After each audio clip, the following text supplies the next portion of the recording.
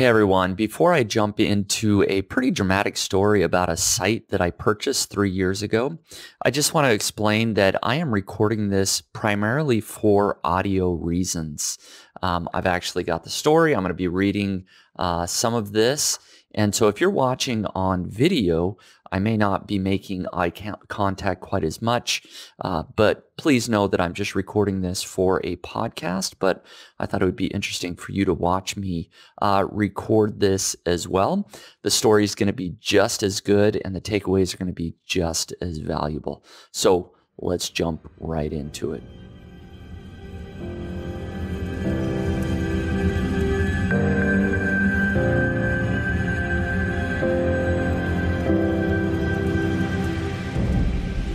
Hey everyone, Spencer back here again, and welcome to the Niche Pursuits podcast.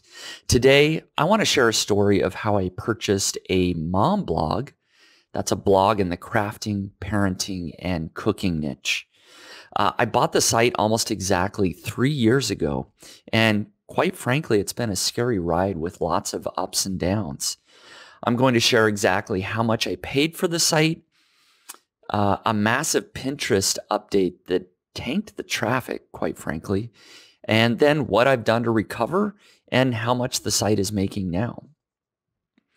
So if you like a little drama related to niche websites, or if you like the fact that a couple of dads, I'm one of those, are running a mom blog, then stick around for this story.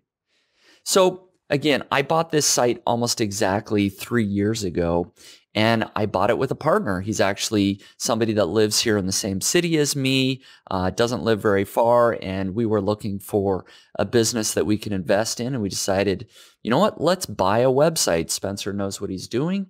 He's good with websites. It should have a good return. And so uh, we actually found an off market deal.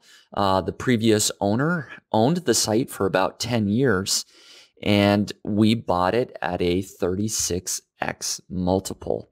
And I believe that's too much. Uh, we should have negotiated down and paid less for it, but we were really excited about the opportunity. And so we took her up on the offer. Now, the site at the time was making about $10,000 a month. And uh, with three to 4,000 of that supposedly coming from sponsored revenue. And if you don't know what sponsored revenue is, basically that's where large companies are paying you to either write a sponsored post or to share their content on social media and Pinterest. It's not an SEO thing at all. Um, the links are, are no follow. Uh, it's really just brand awareness and, and large companies like Walmart, Hasbro, um, lots of other companies do this all the time. And so supposedly three to four thousand dollars a month was coming from that uh, type of revenue, which I'll get into that here in just a second. The display ad revenue, which was basically the remaining, was about fifty five hundred to six thousand dollars a month, and that was coming from AdThrive. So we bought the site about three years ago, and we spent three hundred and sixty thousand dollars it was a huge chunk of change. It was a big investment. I'm the majority owner. And again, I'm the one with all the uh, online business experience. So a lot of it came down to me to make this a winner. Um, the first thing that we noticed pretty early on is that the sponsored revenue was not as automatic as we thought. Uh, we were told that it was all inbound income, that there was so many people interested in doing sponsored posts that you were basically just fulfilling those orders. And it, it was not. Uh, we had to do a lot of outreach, a lot of uh, legwork and salesmanship to try to sell these companies on this sponsored revenue. And in addition to that, actually fulfilling the sponsored content was a ton of work. You know, I remember some, uh, it was for an Easter, uh, and I don't, it, it was Walmart had partnered with Slim Jim or something, and they wanted an Easter basket full of Slim Jims, and they were paying us a couple thousand dollars to do it. And so, um, my my partner, his wife, ran down to Walmart. She bought Slim Jims. She decorated um, you know, this Easter basket and had to take pictures. And then we had to write uh, a, a post on this and then share it on social media. It was a ton of work. It's a lot of manual uh, labor. So many hours. You know, I, I'm used to this passive uh, income where, you know, you just kind of get the checks in the mail when people click ads. And this was not. This was very manual. Also, within about a year of owning the site, Pinterest had a major update and the traffic went from about 200,000 sessions a month to about 120,000 sessions a month. So not quite half, but it hurt. And I wish I could say that we simply reversed the Pinterest traffic trend, but Pinterest has continued to have updates uh, throughout the years, and we've continued to lose traffic. Now we're closer to about 50,000 visitors a month from Pinterest. That's only about a quarter of its previous highs. Uh, ouch. That's all I can say. Is uh, that doesn't feel very good. Now, we've tried just about everything and continue to have a dedicated Pinterest person that's sharing lots of pins and, you know, creating even some original recipes. And we're doing what we can there. But it's certainly not all come back. Uh, so after about a year of owning the site, it went from supposedly earning about $10,000 a month, which it rarely did because the sponsored posts didn't really just roll in like we thought, to about half that of just $5,000 a month. So at that time, I took a step back and I kind of took stock on what our next course of action should be. Uh, we could sell the site and cut our losses, uh, or we could take a different approach. I decided we should stop spinning our wheels trying to do things we were not great at, like sponsored content and Pinterest, and focus on good old SEO and affiliate revenue. Uh, I did a ton of keyword research focused on affiliate type keywords that I knew could bring in that Amazon revenue, uh, which the previous owner never really had done before. The previous owner was not focused on Amazon or affiliate keywords. And that's essentially what we've done over the last two years. Uh, we really doubled down on product fo- focused content with some informational content posts in there as well, of course. In addition, we did a ton of on page SEO work with a primary focus on internal linking. Now, we went through every single article that didn't have any inbound internal links pointing to them, and we made sure that it got a relevant link. Now, of course, I used Link Whisper, which is a tool that I created uh, to manage all of that. Uh, I was able to quickly view the Link Whisper reports to determine which articles needed more internal links, and then had Link Whisper suggest the relevant links, which really sped up the process. Uh, in addition, I have our authors using Link Whisper as they write new content. I ask them to build about two or three relevant internal links to other articles as they write the new content. And Link Whisper makes it extremely fast and easy to add these valuable links. So, as a reminder, the Amazon Associates revenue was only about $700 to $900 a month when we bought the site. Uh, but I felt like if there was anything that was in my personal wheelhouse, this was it. And I knew that I could grow it. So what happened? Well, lots of our new content started ranking on Google. Uh, so even though our Pinterest traffic has declined, and it still is much lower than it was when we bought the site, the organic traffic from Google has increased. In fact, it's basically doubled. The traffic from Google has gone from about 35,000 to 40,000 sessions a month when we bought the site three years ago to now close to about 70,000 sessions uh, last month. And this month, which is June 2021, it should do over 80,000 organic sessions. And so but even that doesn't really do it justice because the site was ranking for some very off the wall informational content before in Google, and uh, it wasn't really that valuable. And some of those rankings have been lost. So some of that less valuable content uh, the, the traffic has come down. Uh, but we've more than replaced it now with this high value affiliate type content that is bringing in really decent revenue. So, how much revenue? Well, last month the site made about $6,400 just from Amazon Associates. That's nearly 10x the level from Amazon from where we bought the site. And now the site is on track to do just about $8,000 this month from Amazon Associates. Hey, I am super happy with that. I'm thrilled. Um, we've grown the Amazon earnings exponentially, and that's primarily through SEO strategies. Now, what about display ad revenue? What's happened there? Well, originally the site was on AdThrive, uh, but I moved it over to Ezoic on the promise that they would more than beat the earnings that AdThrive was giving us. It's a really long story for another time, and I actually have written a blog post about this a little bit, um, but there were some hiccups in getting the site transferred over to Ezoic and getting it all set up properly. Anyways, there was some things there, and so the site didn't earn what it was supposed to for a little while. Uh, but now the site is indeed earning more per page view than it was on AdThrive.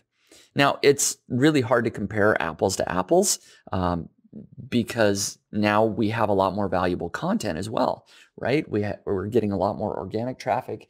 It's targeting more high value keywords. So, of course, that's going to earn a little bit more in display ad revenue. And so, again, it's just hard to compare apples to apples. But it's um, all, all, of that story is a long discussion for another um, time. But when we bought the site three years ago, it was making approximately uh, five to six thousand dollars a month in display ad revenue. Now, as mentioned, our pa- page views, thanks to Pinterest, has declined um, overall.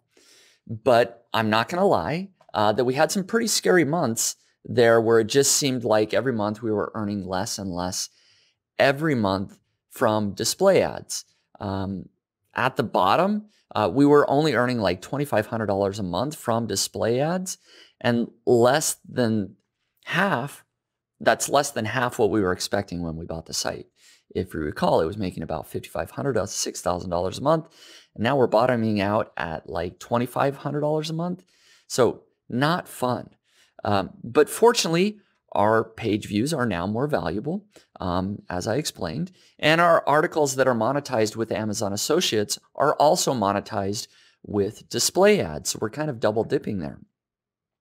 We've had to fight and claw our way back, but last month we made $4,318 from Ezoic display ads.